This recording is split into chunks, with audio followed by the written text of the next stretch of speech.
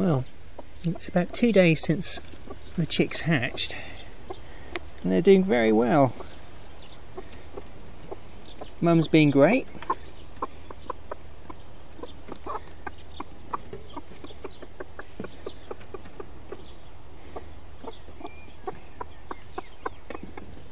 Being very attentive. So mum's being great, being very attentive. Calling the chicks over to uh, mealworms at the moment. But um, I think what I'd like to do now, I can see there's no movement on the last egg. And I think that's not going to hatch now.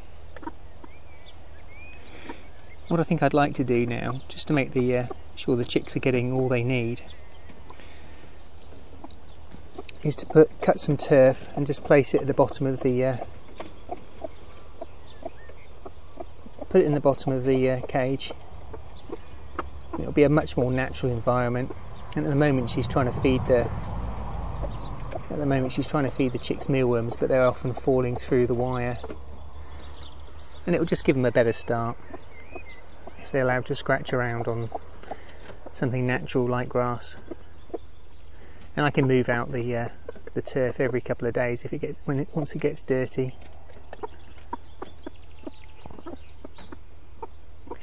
and just replace it with new turf.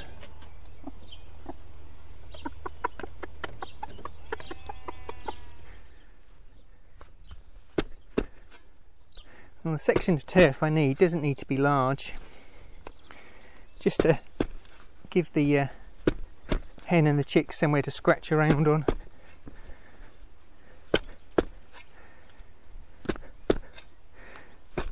Nice thing about doing it this way is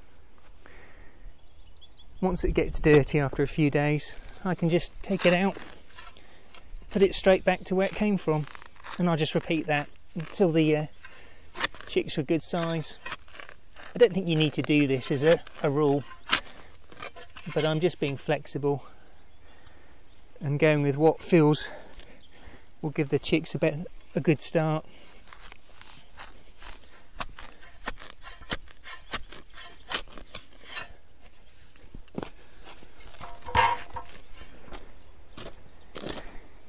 Okay, here we go.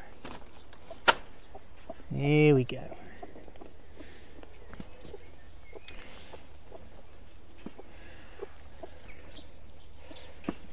Then, I'll just take the top off carefully.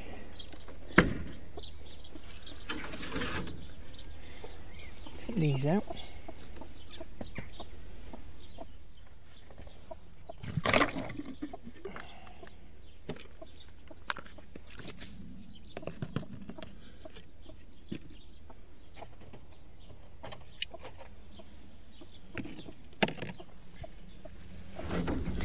Now then, I think she'll really like this. Yeah.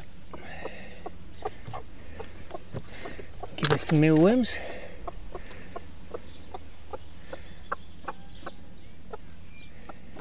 And get you some fresh water.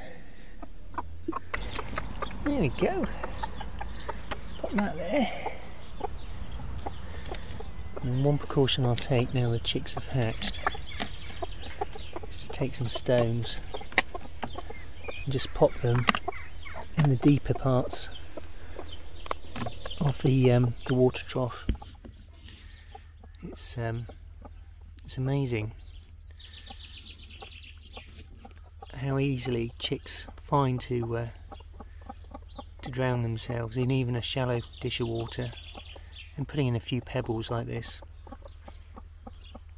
just means that they get wet rather than falling in full length, getting confused and drowning.